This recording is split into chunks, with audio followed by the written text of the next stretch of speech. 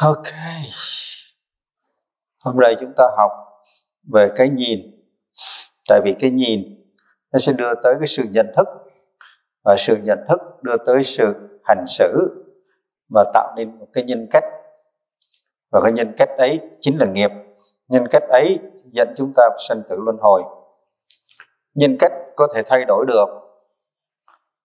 À, trước kia mình có thể là tướng cướp như là Angulimala giết 999 người. Nhưng mà khi biết được giáo lý của Phật, thay đổi, đi tu theo Phật, rồi lại khởi tâm từ, thương tất cả mọi người, con kiến cũng không nỡ giết. Và cuối cùng chứng a la hán cho nên, ở đây, quý vị à, học quý vị sẽ thấy các đệ tử của Phật, người nào cũng có quá khứ.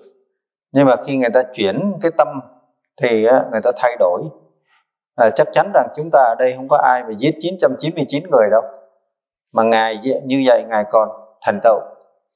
À, ờ, khi Đức Phật dạy ngài luôn luôn dạy à, quá khứ hiện tại vị lai. Trong quá khứ chúng ta có thể nhiều đời nhiều kiếp đã phạm nhiều cái lỗi lầm. Vì có phạm nhiều lỗi lầm cho nên chúng ta mới sinh ra ở đây. À, nếu chúng ta không phạm lỗi lầm thì chúng ta không có mặt ở đây đâu chúng ta là chư thiên hay là à, gì đó rồi. À là hán rồi.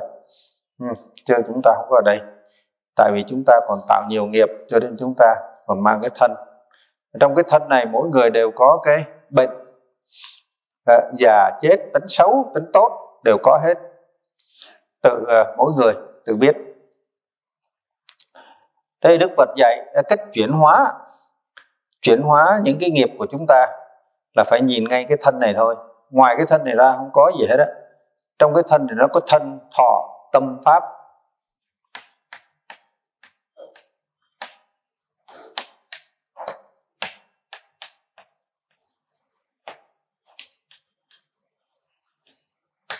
Bốn cái.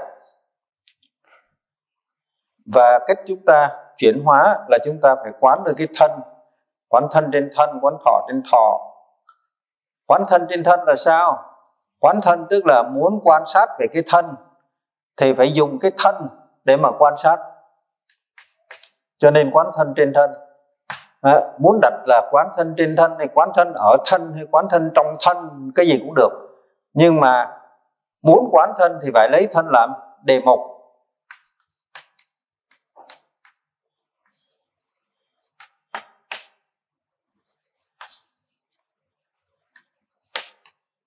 Và quán thọ thì phải lấy thọ làm đề mục. Không thể lấy cái khác được. Thọ thì có thọ lạc thọ khổ. Là hai cái chính. À, thọ lạc là dễ chịu. À, thí dụ như ăn món ngon dễ chịu. Đang nóng có quạt thổi nó dễ chịu. À, xa ông xã lâu mà ông gọi điện thoại cái tự nhiên thấy dễ chịu. À, mặc dù trời à, đang lạnh à, nhưng mà nghe điện thoại cái thấy ấm liền. À, cái cảm giác nó là thọ lạc. Này mà tâm thì muốn quán tâm. À, có bốn pháp quán thân quán thọ quán tâm quán pháp. Nhưng mà muốn quán tâm thì lấy cái gì? Quán là đề mục nó là cái gì? Đức phật dạy quán tâm trên tâm. Tâm tham tâm sân tâm si sanh khởi. Thì dùng ngay nó à, tham tôi đang có tham sân tôi đang có sân. À, phải biết thí dụ như có ai nói câu gì mình cảm thấy là à, khó chịu tức là tâm sân tâm sân nó nổi lên. Nhận biết liền phải quán liền à, tôi đang có tâm sân. Quán pháp. Muốn quán pháp thì phải lấy pháp làm đề mục à, cho nên á, muốn dịch như thế nào muốn hiểu như thế nào thì hiểu. À, quán thân trên thân quán thân ở thân quán thân trong thân rồi danh từ thôi không quan trọng. Nhưng mà cái điều quan trọng là lấy cái đề mục đấy để mà quan sát. Lấy đề mục đấy để mà quan sát. À, thí dụ như quán thân thì lấy cái thân à, làm đề mục để mà quan sát. Nhưng mà ở đây chúng ta biết thân cái đề mục thân á, thì sơ cấp á, đức phật dạy có 32 thể trường.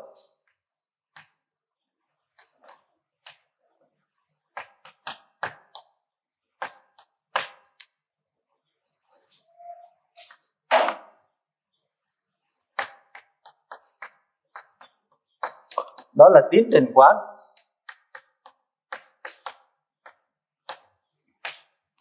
quán 32 thể trường sau khi quán 32 thể trượt à, rồi á người ta sẽ quán tới năm uẩn. Ờ, à, sắc thọ tưởng hành thức là cái thân. Rồi ta quán tới sanh diệt.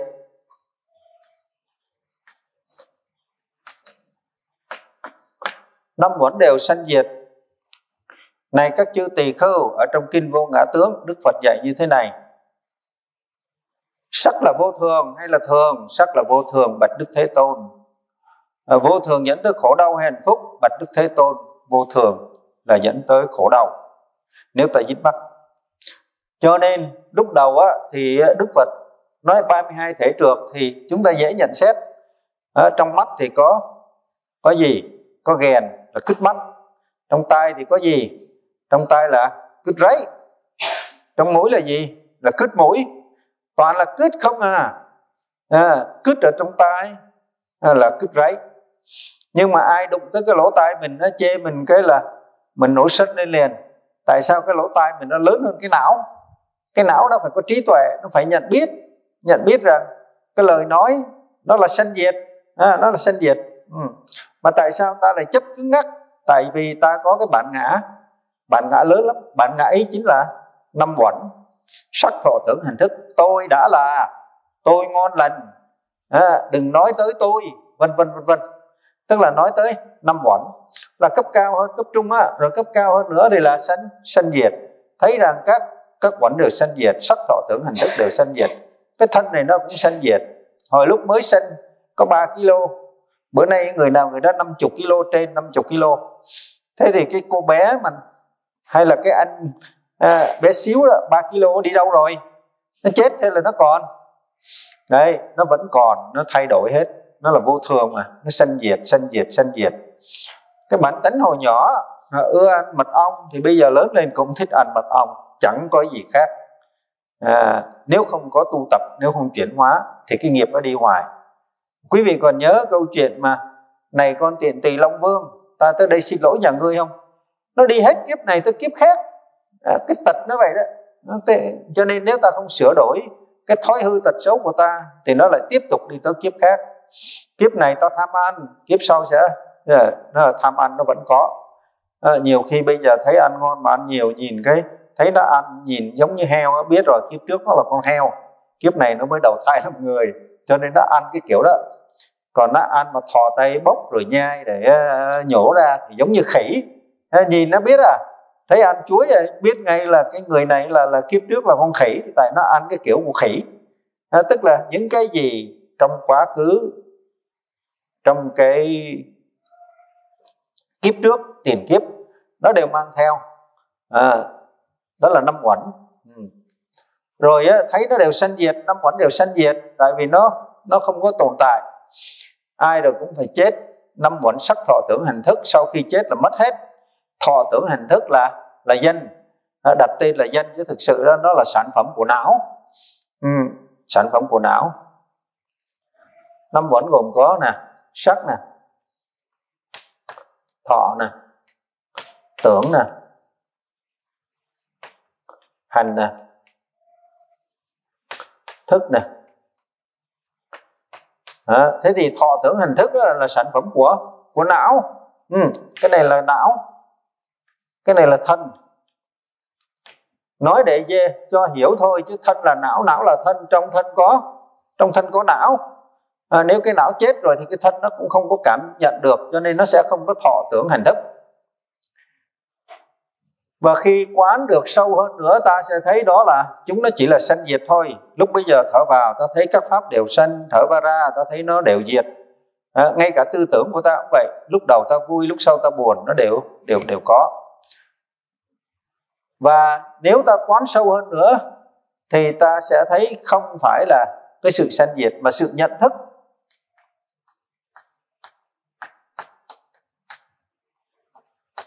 Ta sẽ thấy bản chất của sự nhận nhận thức.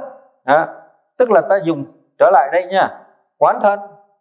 Muốn quán thân là một trong bốn cái đề mục này thì phải lấy cái thân làm đề mục. Và trong cái thân cấp nhỏ thì ờ, cấp thấp thì quán 32 thể trượt.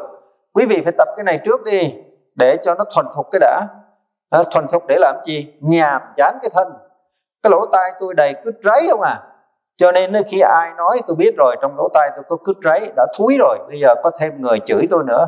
Nó không ngăn thua gì hết. Đấy tại vì trong tôi lúc nào tôi quán trong tai tôi có có cứt. Mà nếu người ta nói thêm nữa thì nó chẳng ăn thua gì. Cho nên cái tâm mình được an vui quán 32 thể trượt để nhàm chán cái cái thân. Nhàm chán cái thân rồi mới ly ly tham. Ly tham tức là dính mắc nơi nơi thân. Ly tham cái cái thân. À, mà ly tham rồi thì mới có tuệ. Mới thấy rõ thân là không có thật, đấy.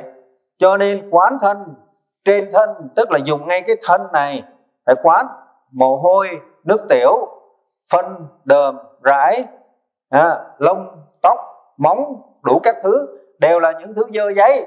Cho nên bây giờ có đi á, vẽ cái gì ở trên móng tay chăng nữa thì cái móng tay nó cũng à, à, ừ, cũng mọc ra rồi nó cũng phải cắt đi. Có vẽ mấy nó cũng không không đẹp cái nhân cách trong kinh pháp cú đức thế tôn dạy. À, các loài hương đều bay theo chiều gió. Chỉ có hương của người đức hạnh bay ngược chiều gió và bay khắp muôn phương. Đấy, cho nên cái tu cái đức hạnh đó nó mới quan trọng. Thế thì khi chúng ta quán 32 thể trượt chúng ta sẽ nhàm chán. Và từ nhàm chán chúng ta mới ly tham tham dính mắc vào cái thân nè. Và khi chúng ta ly tham thì chúng ta có tu tuệ đó là tuệ giải thoát.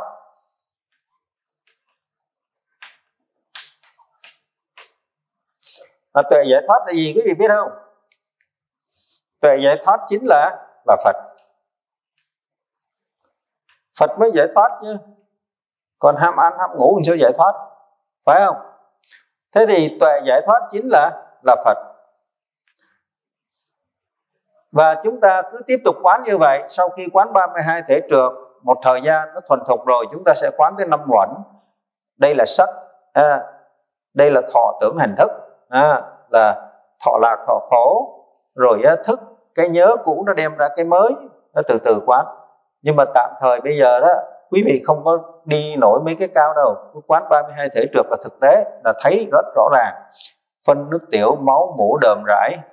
À, đi toilet thọ tay lấy cục phân rờ thử xem.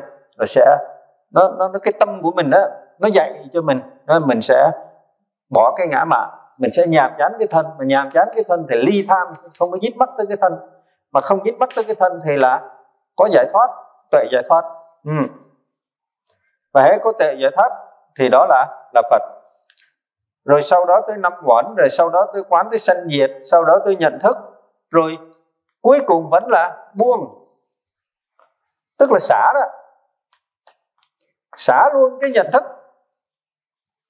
Xả luôn cái nhận thức phạm chí trường trảo là cộng của ngài xá lợi phất.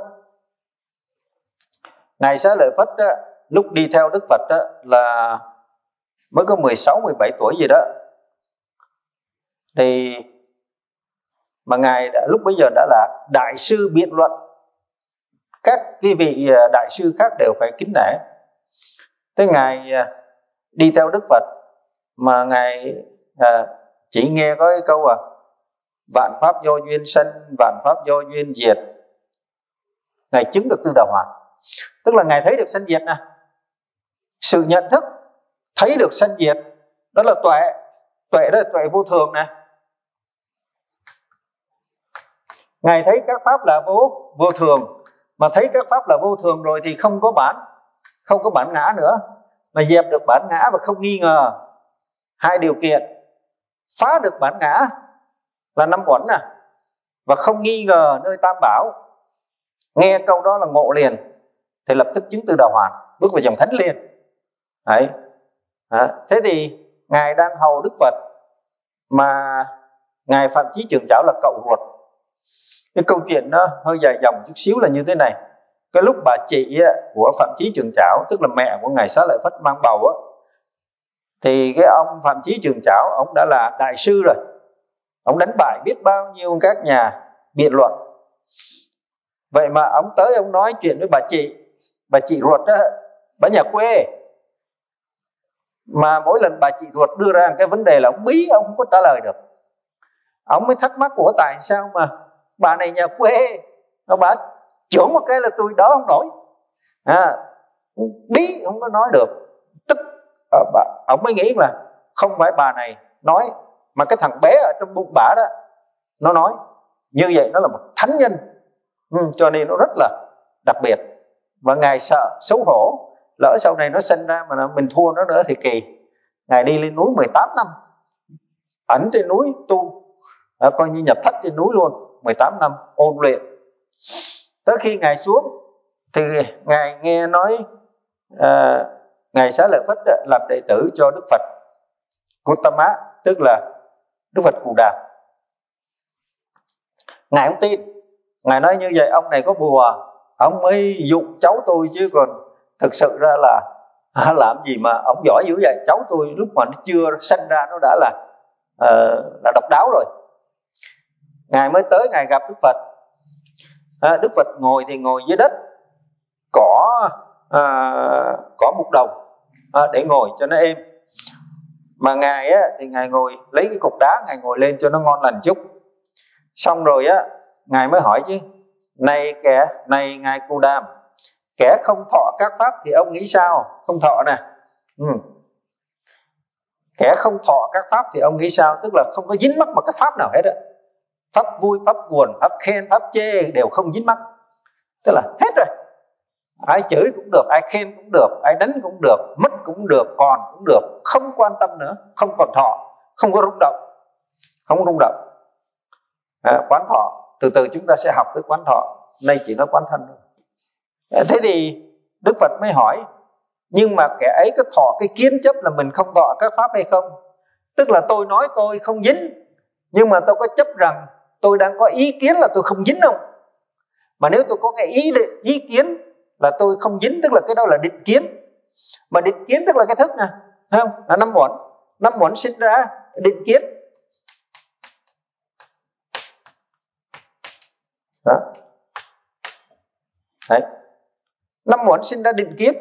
Mà nếu tôi nói rằng tôi đã buông, là rớt. Tại vì còn có cái để buông. Còn có cái để buông. Cho nên đức phật mới hỏi, nhưng mà kẻ ấy có chấp chấp à cái chữ chấp quan trọng lắm. Nhưng mà kẻ ấy có chấp là mình không thọ các pháp hay không? Thì không thọ trở thành một pháp, mà ông chấp tức là ông dính vào cái không thọ. Ông kia nghe biết sai rồi, hết hồn, bỏ cục đá ra, ngồi bệt dưới đất. Mới chung quanh á các nhà hiền triết đang đứng chung quanh để xem cái cuộc đối thoại giữa hai vị nổi tiếng đấy mà. Một là bên đức phật một người là phạm chí trường trảo nổi tiếng. À, thành thử đây người ta đứng chung quanh đông lắm mà toàn là những thứ dữ không à. Thế thì đức phật mới hỏi nhưng mà ông có thọ ông có thọ cái kiến chấp là ông không thọ các pháp hay không? Tức là thứ nhất có cái pháp tên là không thọ và thứ nhì là ông dính mắt một cái pháp đó thế thì ông kia ông biết là sai rồi, ông mới đây, nếu như kẻ ấy không thọ cái kiến chấp, tức là ngay cả những cái nói, tôi nói rằng tôi đã buông, mà tôi buông luôn cái buông. Thì ngài cụ đàm nghĩ sao?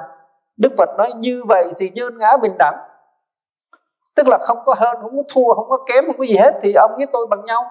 Hà cớ gì nhà ngươi lại đây cống cao ngã mạn? Mà tranh luận với ta. Đã nói là ông buông hết rồi mà ông lại đây ông còn tranh luận tức là ông còn có cái có. Trong khi ta là không mà ông còn có cái có thì ông mới có tranh luận. Còn nếu ông cũng không ta cũng không không có dính ông không, không màng gì hết thì có cái gì đâu mà phải tranh luận. Ngay cái chỗ này ngài phạm chí trường trảo câu hy la dược bên việt biết mình sai và được đức phật mở vén cho cái màn vô minh. Vén vén màn vô minh thì sao? Đến mạnh vô minh là chứng vào dòng thánh. Thấy rõ các pháp, nó là như vậy thôi, nó chẳng có cái gì hơn, chẳng có gì kém, chẳng có gì dơ, chẳng có gì sạch. Tại vì mình có định kiến. Vì định kiến cho nên mình mới nói có cái pháp tên là không thọ, có cái pháp tên là thọ. Và bây giờ mình không thọ, tức là mình nhảy ra khỏi cái thọ. Là tưởng là hãnh diện, khoác thêm cái áo khác trên cái áo này thôi, chứ có khác gì đâu. Thế là ông này ông hết hồn giật mình và khi ông tỉnh, thì lập tức quỳ lại phật. Ngay cái giờ phút đó, cái tâm cung kính với tam bảo, cung kính với phật nó tràn đầy hết. Hạnh phúc vô cùng, quỳ xuống lại phật. Đầu vừa chạm đất là chứng quả tư đà hoàn. Cung kính với tam bảo, xả bỏ mọi sự chấp thủ, ngay cái đó chứng tư đà hoàn. Vậy chứng tư đà hoàn có khó không quý vị? Không khó chút nào hết đó. Buông đi. Buông buông cái định kiến của mình đi không? Buông là mình đang tu đi. Tu thì tu thôi. Còn nếu tôi đang tu rồi tu tu tôi phải ăn chay là tôi phải ăn cá tôi phải ăn thịt tôi phải ngủ mấy tiếng. Tu kiểu đó là còn dính mắc thấy không? Dính mắc là thọ này dính mắc vào cái pháp. Ừ, là đều kẹt. Ừ, thế thì buông mà buông luôn cái tư tưởng buông. Thì khi mà buông buông luôn mà xả luôn cái buông á thì nó là cái gì? Sống cuộc đời bình thường nhưng mà không có dính nữa hồi xưa nó dính. Anh muốn ăn ngon bây giờ ăn cái gì cũng được cái gì cũng thấy ngon. Thấy không? À, quý vị thấy quý sư ăn bình bát không? Đổ tùm lum các thứ vô cái gì nó cũng vô bao tử hết. Mà thế xong xong rồi ba tiếng ngủ sau nó đi toilet thì cái gì nó cũng bằng nhau. Ba tiếng ngủ sau nó có khác không? Nó có phân chia không? Có phân chia phẩm trạch gì ở trong cái đồ ăn không? Ngon dở không? À, ba tiếng ngủ sau đi toilet phẩm trạch không có nó bình đẳng và cái mùi nó cũng giống nhau nữa. Mùi thơm lắm phải không quý vị? Sau khi ăn xong 3 tiếng hồ cái mùi nó thơm lắm. Ừ, thành thử ra nó phân chia. Mà cái tâm mình không có phân chia tức là không thọ. Đấy. Cho nên cái gì quán thân thì không thể nói được. Nói rằng lấy tâm để quán thân thì cũng không đúng. Lấy trí để quán thân cũng không đúng. Tại vì lấy trí là có định kiến. Những gì mình học nơi kinh sách nghe người ta nói trên youtube rồi nghe các ông sư giảng nó nhét vào trong đầu của người ta không có gì của mình đâu. Không có gì của mình hết á. Nhưng mà sau khi mình học xong rồi vỗ ngực tôi biết nhiều biết nhiều gì? Biết toàn rác không à? Toàn lục của người này lục của người kia vô. Người nghe mấy ông sư cũng nói uh, thấy như nó là.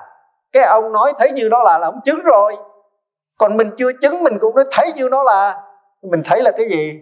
Mình các ngài thấy cái gì cũng là cuộc phân cái gì cũng là phật cục phân cũng là phật. Còn mình mình thấy cục phân là cục phân. Mình tránh né làm sao mà mình muốn như các ngài được. Cho nên đó đừng có vọng ngôn không? Đấy, thế thì lấy cái gì để quán?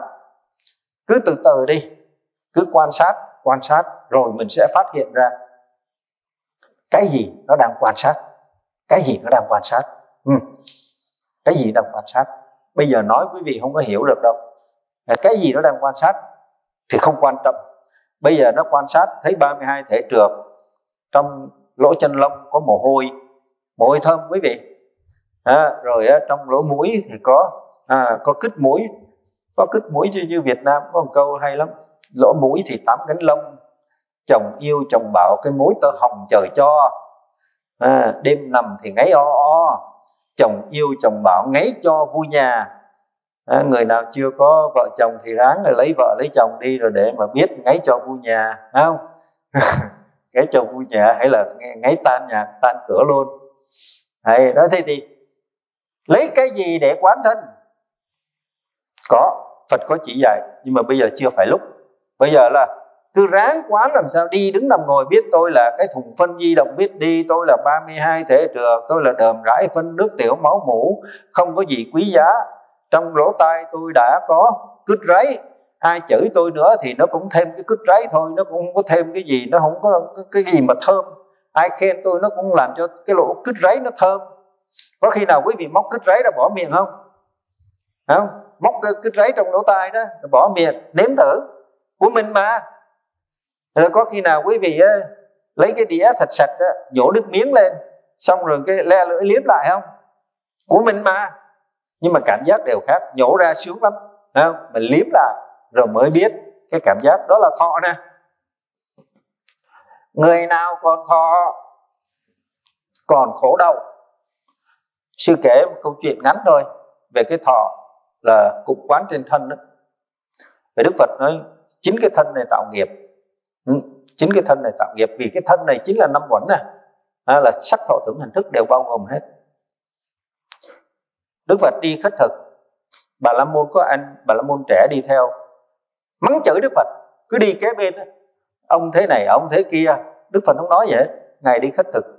Cuối cùng á, ông kia ông không kiên nhẫn được. Ông mới nói này ngài cu đam bộ ông điếc hay sao vậy? Từ sáng giờ tôi nói mà ông ông có nghe không? Đức phật cười đức phật nói này hiền giả bị ta chửi nha. Vẫn nói này hiền giả chứ không có giữ giả nha. này hiền giả ta có nghe. Tại sao ông nghe mà không trả lời? Này hiền giả, ví như ngươi có một món quà, ngươi cho một người nào đấy mà cái người kia không nhận thì món quà thuộc về ai? Dĩ nhiên, ta cho mà người khác không nhận thì món quà thuộc về ta. Ông kia ông trả lời đức phật vậy đó. Đức phật nó cũng như thế, cũng như thế. Từ sáng giờ nhà ngươi nói mà ta không thọ. Ta không thọ nè. Tức là ta không tiếp xúc, ta bằng mắt tai mũi lưỡi ta không có tiếp xúc và ta không có phản ứng ta không có tiếp nhận, thì món quà trả lại nhà ngươi. Những cái gì nhà ngươi nói, trả lại nhà ngươi. Cho nên khóc họ là như vậy đó. Quán thân trên thân, lấy thân làm để đề mục. Cái thân này nè, ngoài cái 32 thể trượt nó còn đi đứng nằm ngồi. Khi ta đi, ta quan sát, ta sử dụng cái thân. Đi có vội vã không? Đi có chánh niệm không? Ngồi có chánh niệm không? Ngay cả ngồi trên toilet cũng vậy, ngồi từ từ không có cái cái bàn cầu nó đang dơ. Ngồi xuống cái nó dính rồi đâm ra phiền não.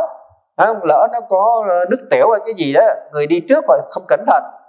Cho nên đó, cái phước của những người mà đi toilet đó, sau khi đi xong lau chùi sạch sẽ để người khác đi phước lớn lắm. Tại vì mình quan tâm tới người khác. Cái phước gọi là tâm từ đó. tâm từ đó, quan tâm mà có chánh niệm. Thế thì thường thường á, đi toilet mình chùi rửa sạch sẽ, xong cái mình kể cả dưới gạch nè, mình cũng chùi cho sạch sẽ để cái người bước vào được sạch sẽ hết, thì cái đó phước vô cùng lớn. Tại vì thứ nhất, thiết lập là chánh niệm. Thứ nhì, tâm từ. Hai cái đó rất là quan trọng. Có chánh niệm với tâm từ, cứ tu cái đó thôi cả đời vậy thế nào cũng bước vào dòng thánh. Trở lại, phải có nhàm chán 32 thể trượt. Nhàm chán thì mới ly tham ly tham cái thân còn có cao quý nữa, tôi Nguyễn Thị A, Nguyễn Thị B, tôi ngon lành, tôi có trí thức, tôi có tiến sĩ. Vất đi. Và khi ly tham được cái thân không có dính mắc nữa thì xin được tuệ giải thoát. Ngay cái lúc tuệ giải thoát, ấy chính là Phật. Quý vị đang là Phật mà quý vị không biết. Quý vị đang là Phật, nhưng quý vị không biết. Bảo đảm, mỗi một ngày quý vị có một sát na, quý vị là Phật. Trong cái sát na ấy, sợ sợ sinh tử sợ làm chó làm mèo sợ chết sợ mất hết sợ bốn đường ác đạo. Có một sát na thôi. Dứt mình sợ sau đó rồi. Vẫn ham ăn ham ngủ thì một sát na là phật. Còn lại tổng số ngày á, là ma. Ham ăn ham ngủ là súc sanh. Thế thì bây giờ ta phải tăng cường cái cái, cái con số một này lên chứ nó nhiều nhiều nhiều nhiều chứ. Bây giờ cứ con số 1 này một ngày chỉ có một sát na thôi. Giống như một cái ly ấy, mà quý vị bỏ một giọt nước thì nó sẽ nó sẽ đầy. Nhưng mà mỗi một ngày một giọt thì là bao nhiêu năm? Một ngàn năm nó mới đầy cái ly. Còn nếu một ngày á, mà ta bỏ 100 giọt thì nó có 10 năm nó đầy. Cho nên tinh tấn trong từng sát na đều chánh niệm tỉnh giác quan sát trên thân 32 thể trượt. Đây là thùng phân nước tiểu đây là không có gì. Quý giá. Đừng có nghe ông xã ông phỉnh ông nói em là đẹp nhất trên đời. Mà khi mình bỏ vô trong quan tài rồi, viết di chúc, em để lại hết tài sản của em cho anh. Nhưng khi em chết, anh làm ơn vô quan tài nằm với em trong những cái ngày chưa chôn, để cho em đỡ lạnh lùng. Thì ông dám vô nằm không? Chắc chắn là không. Cho nên đừng có nghe nghe phỉnh phải tự quan sát quan sát thân thấy 32 thể trượt sinh nó nhàm chán nhàm chán là ly tham cái thân. Ly tham, cái sự dính mắc nơi thân thì nó sinh ra tuệ giải thoát, nó không giải thoát ngay cái thân này. Nói chung giải thoát đâu xa và ngay trong sát na mà chúng ta ngộ được điều ấy thì chúng ta là là Phật. Phật là giác chứ không có gì hết đó Phật do chữ Buddha. Buddha là giác, ta là người. Người giác ngộ thì gọi là Phật trong cái sách na nào quý vị giác ngộ hiểu sự nguy hiểm của sự tái sinh thấy rất rõ mình là cái thùng phân thì ngay lúc ấy là mình là phật. Nhưng mà rất tiếc có nhiều khi một ngày mình cũng không là phật. Ham ăn ham ngủ tối ngày có đâu mà một cái sát na nào mà thành phật. Mà nếu có thì cũng chỉ một sát na rồi nó bừng lên rồi nó tắt mất tắt ngúng mà. À, còn trở lại ham ăn ham ngủ đó là bản tính của của súc sanh cho nên đi đứng nằm ngồi tu không phải là chỉ có ngồi thiền. Ngồi thiền để tập trung lại thôi. Để, để khi mình đi đứng nằm ngồi nương nhờ cái lực ấy mà nó tiếp tục tốt đẹp.